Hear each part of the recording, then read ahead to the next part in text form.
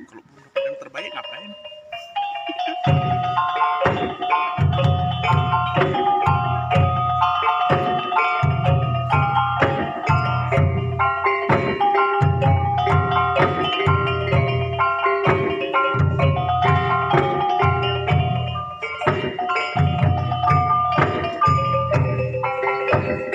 Thank you.